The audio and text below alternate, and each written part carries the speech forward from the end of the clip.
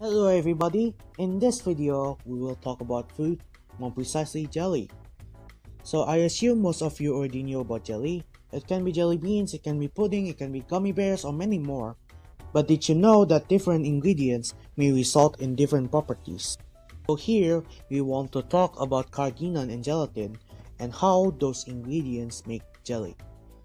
So here we have gelatin jelly and carrageenan jelly. Three types of carrageenan, iota, lambda, and kappa carrageenan. Each of the types have different properties, but in this video we only took iota and kappa since lambda cannot form gel. Let's talk about the mechanism first. If you take a look on the structure of kappa carrageenan, it has one sulfite, while iota carrageenan has two. Pay attention to that because that structural properties will have a play later. All types of carrageenan are in a random coil formation when heated. By cooling, the random coil form double helix. Due to the two sulfite in iota carrageenan, the gel cannot form compactly, which result in elastic and firm properties. However, kappa carrageenan has one sulfite which is able to form compact structure. It results in a more hard and brittle texture. In gelatin, even though the reaction is still not clear, but here's the general idea. The gelatin forms a complex bond with polysaccharide while heating due to electrostatic interaction. By reduction of charge density, polysaccharides shorten the distance of the molecules. Let's say we use xanthan gum for the polysaccharide.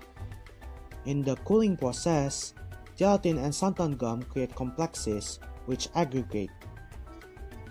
Once cooled, the complex is concentrated and breached by the gelatin triple helix formation causes biopolymer rich domain.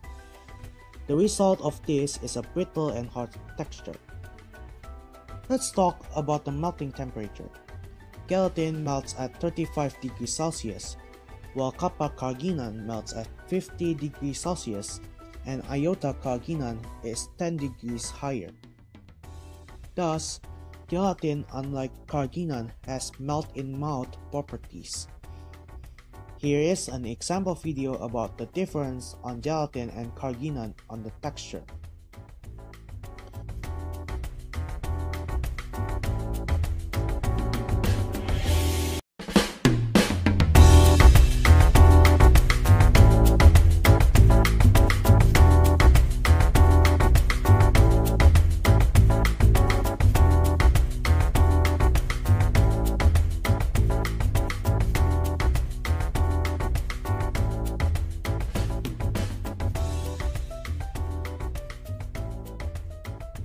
So, next time you make jelly, you knew what ingredients you should use.